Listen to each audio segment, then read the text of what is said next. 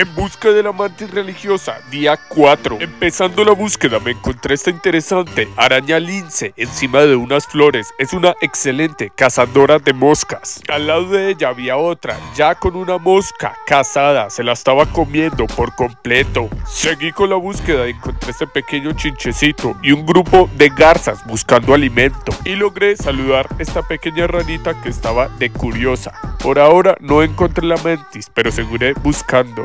Oh, oh, oh.